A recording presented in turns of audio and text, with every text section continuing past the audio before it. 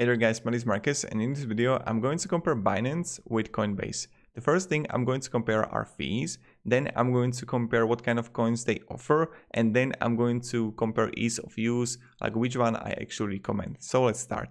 Now when we would compare the fees, Binance is completely dominating Coinbase. You can see it right here that I'm not going to compare uh, the Coinbase, retail Coinbase, which is really expensive. Like when I come here to buy and sell and I would write 1000 euro, and preview buy, you can see clearly there's like 38 euro out of 1000.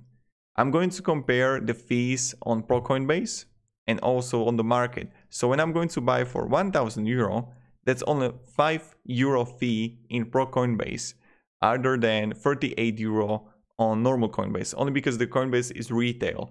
On Pro Coinbase, you trade with other people. Now, and let's get back to the fees, why I'm comparing those two, because that's what I recommend for you to do so you actually save money on fees. Now, when you would come here, uh, you see that Binance, less than 50 or more than BNB, you got 0.10 only. And also, if you're using BNB, it's even less. And the more you're gonna use, the less fees you're gonna pay.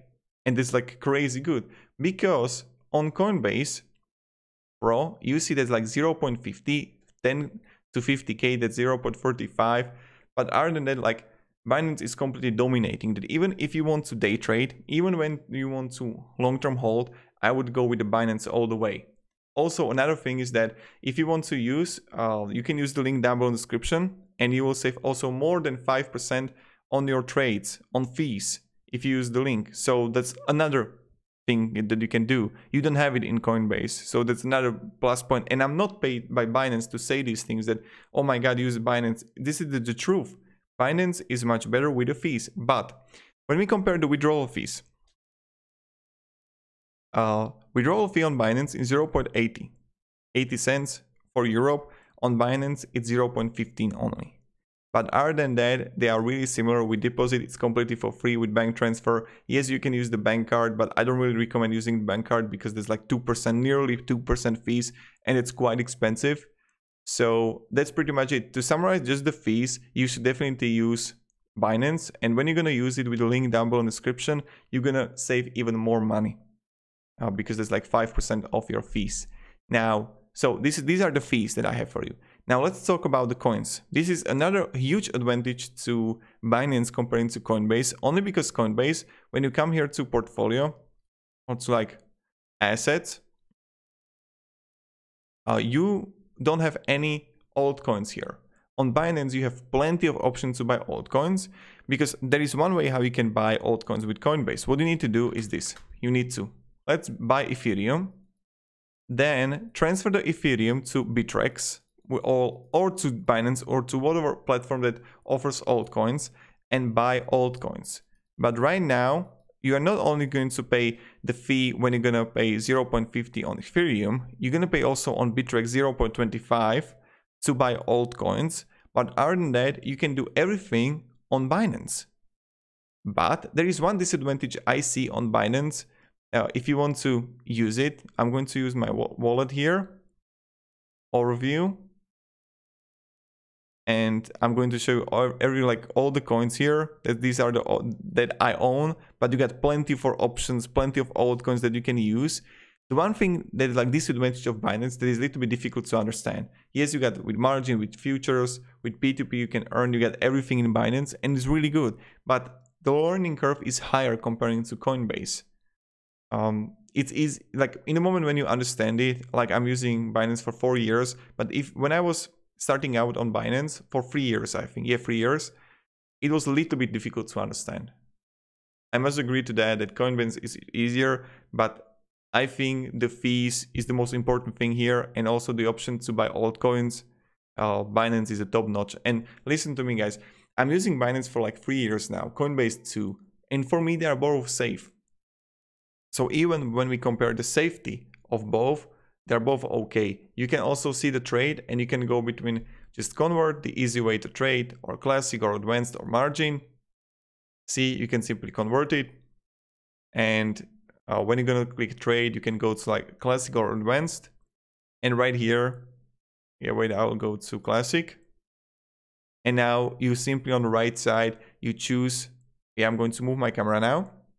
On the right side, you simply choose a pair. Let's go with Bitcoin and let's write here Euro, Euro.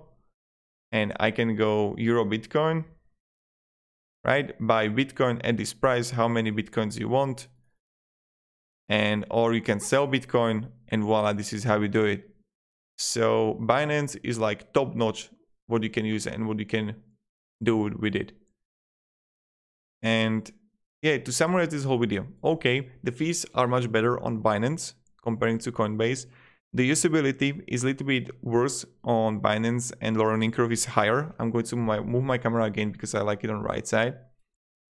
Uh, also, another thing is that yes, the withdrawal fee is a little bit higher on Binance comparing to Coinbase, but other than that, I would definitely go with the Binance. And when we compare the customer support, it's okay-ish on both. And also, Coinbase in the past had problems with uh, page quality.